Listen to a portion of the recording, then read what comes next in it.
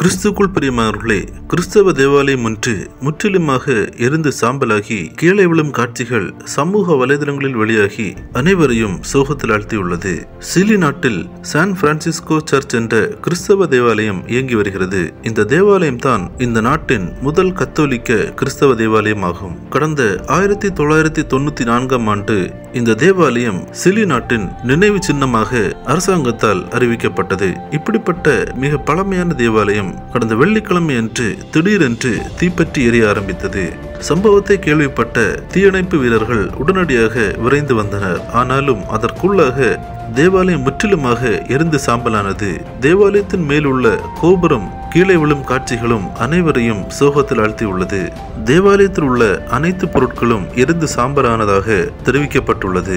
Chile நாட்டின் முதல் கத்தோலிக்க கிறிஸ்தவ தேவாலயம் தீயில் இருந்து சாம்பலான செய்தி சிலி நாட்டு கிறிஸ்தவர்களை பெரும் சோகத்தில் ஆழ்த்தியுள்ளது.